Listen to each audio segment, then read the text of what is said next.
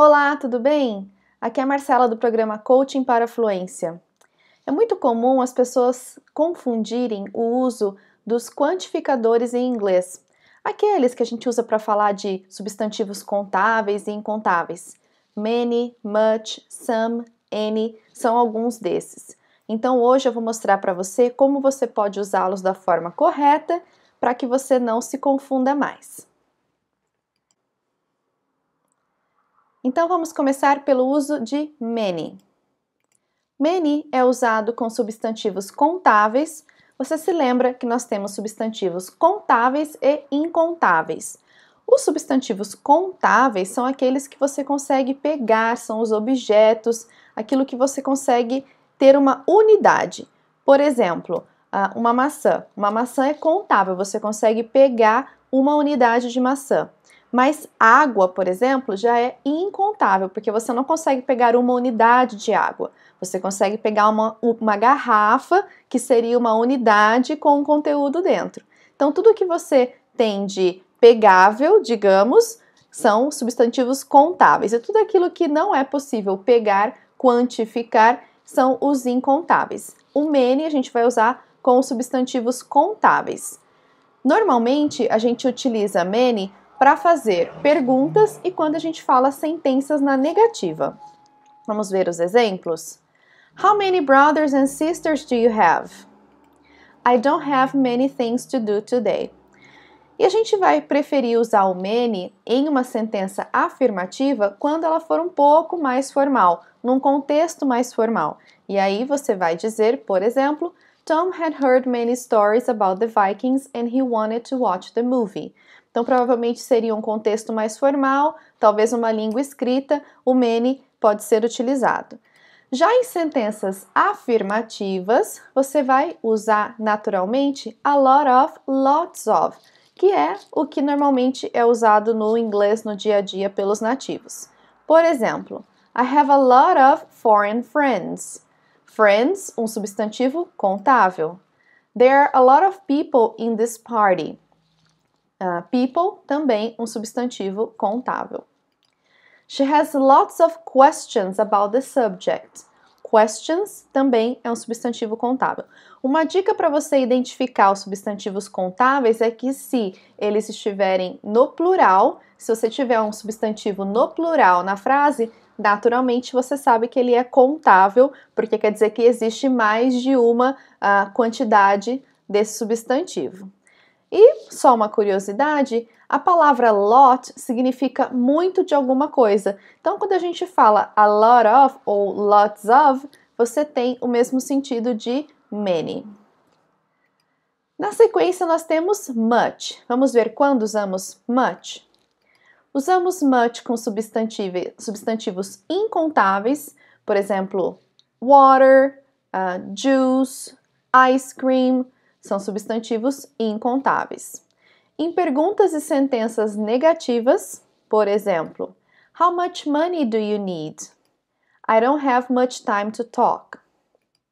Em sentenças afirmativas com sentido mais formal, There is much concern about violence in Brazil. Então reparem que todos esses substantivos, money, time, concern, que seria preocupação, uh, são todos incontáveis e por isso much é utilizado nesses contextos. Em sentenças afirmativas, assim como many, você vai preferir usar a lot of e lots of. She ate a lot of chocolate yesterday. I drink lots of coffee every day. This car costs a lot of money. Então, Much e many têm o seu uso muito parecido. A grande diferença é que many você vai usar para substantivos contáveis, que você consegue pegar ou que você consegue contar as unidades. E much você vai usar com substantivos incontáveis, aqueles que não são pegáveis e que as unidades não são muito claras. Alguns exemplos para você de substantivos contáveis e incontáveis. Então você tem na lista de contáveis, por exemplo, potato chips, grapes, bananas, tomatoes, pizza, cake, eggs, apple, objects in general.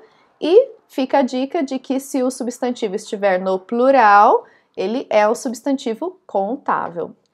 Nos incontáveis, a gente tem alguns exemplos: pasta, salad, rice, soda, juice, milk, water, os líquidos em geral, bread, ice cream, sugar, cheese, garbage.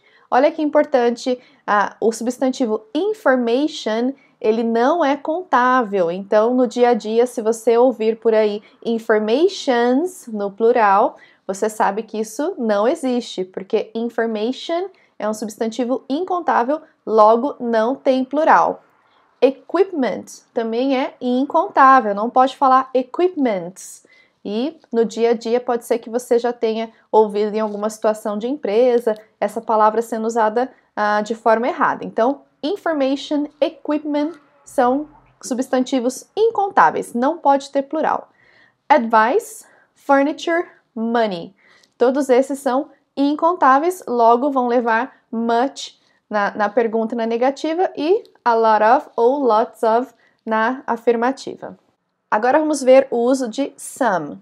Usamos some com substantivos incontáveis ou no plural. Lembrando que no plural só pode ser contável, então se você tem o substantivo contável no plural, você pode usar o some ou com todos os outros incontáveis.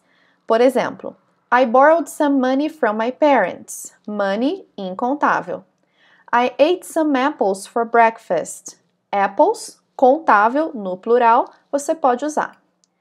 Você pode usar o some para falar de quantidades indeterminadas ou limitadas. Por exemplo, I need some information about the new teacher. Information você sabe que é incontável, então o some uh, entra nessa situação. Em sentenças afirmativas, você pode usar o some.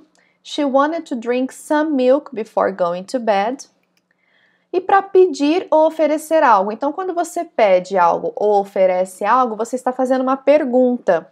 E o some só vai entrar em pergunta nesse sentido de pedir algo ou oferecer algo. Por exemplo, Can I have some pasta? Would you like some water? Então, nesses dois casos, você pode usar some. Não use some com substantivo contável no singular. Por exemplo, se você diz I'm looking for some book to read. O correto é dizer I'm looking for a book to read. She asked me for some pen. O correto seria She asked me for a pen. Porque se você está usando um substantivo contável no singular, você está indicando uma unidade. E o some a gente usa para falar de quantidades indeterminadas. Então, nesse caso, o ideal é usar o artigo a, que significa um, ou também one, que significa a, a unidade também. Já N é usado com substantivos contáveis ou incontáveis para falar de quantidades indeterminadas ou ilimitadas. Por exemplo, Did you bring any bread? Então lembra que o, o, o some você só pode usar em perguntas quando você está fazendo um pedido ou oferecendo algo. Então nas outras perguntas você vai usar any. Em perguntas ou sentenças negativas, Do I need to get any gas? Can I choose any color I want? There aren't any clean glasses. Então, para sentenças negativas ou perguntas, a gente vai usar o any. Com o sentido de não importa o que ou qual. Por exemplo, I don't care where we're going. It could be any destination. Então, qualquer destino serve. If you need any help, call me. Então, se precisar de alguma ajuda, call me, ok? E vamos ver agora a diferença entre any e every. Veja esse exemplo. You can come over for dinner any evening. Se eu digo any evening, eu dou o sentido de que não importa qual noite, você pode vir em qualquer uma. Se eu disser He came over for dinner every evening last week, eu quero dizer que ele veio jantar todas as noites na semana passada. Então, any tem um sentido de qualquer nessa situação e every tem o sentido de todas, todas as noites. Então é importante entender a diferença para você usar corretamente no dia a dia. E agora vamos fazer uma brincadeira? Vamos ver se você lembra as regras e os usos dos quantificadores em inglês? Eu preparei um quiz para gente com algumas perguntas e múltipla escolha para você me dizer qual é a alternativa correta. Vamos lá. How many have you got? Qual você acha que é a alternativa certa? Many, much ou any? Se você acha que é much, parabéns! How much money have you got? Porque money é incontável, então nesse caso a única possibilidade seria much. I don't have time to talk to you.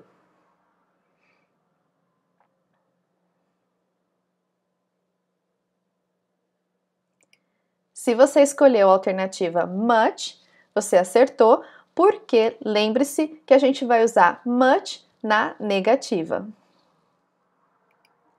Would you like coffee?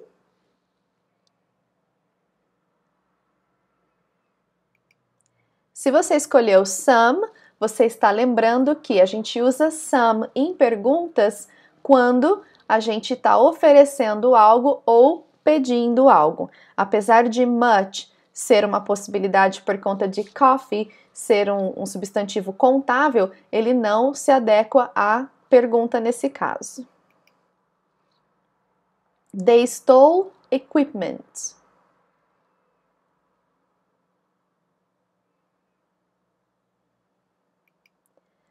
Se você escolheu a lot of equipment, você se lembra que equipment é um substantivo incontável, ou seja, Much não vai funcionar aqui porque a gente não usa much em sentenças afirmativas, a não ser que seja uma sentença formal. E many não funciona aqui porque equipment é incontável. Então resta a opção a lot of, que vai combinar com o substantivo. Vamos lá para a segunda rodada de perguntas? Do I need material?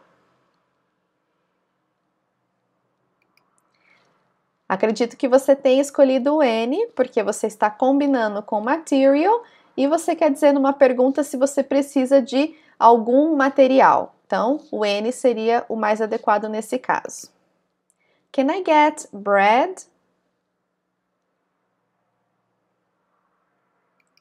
Se você escolheu some, você se lembra que a gente usa some para fazer perguntas de uh, pedir algo ou oferecer algo. Nesse caso, é um pedido, can I get some bread? É o ideal aqui nessa situação. There wasn't information about the case.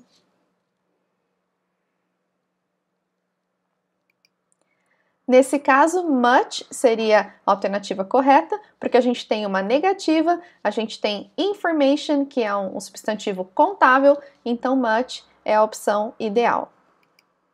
She ate cheese.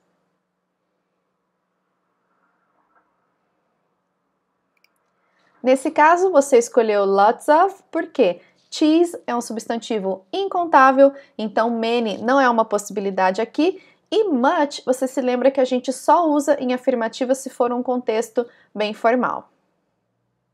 É isso. Então, acredito que você agora vai saber um pouco mais sobre o uso dos quantificadores em inglês, vai ficar mais à vontade na hora de usar uh, os substantivos. Eu espero que você tenha curtido essa videoaula de hoje. Você pode fazer o download desse material, vai estar disponível para você perto do link desse vídeo que você está assistindo. Você pode curtir a minha página no Facebook, na Prime English. Você também pode curtir o meu canal no YouTube, Marcela Harrisberger Coaching para Fluência.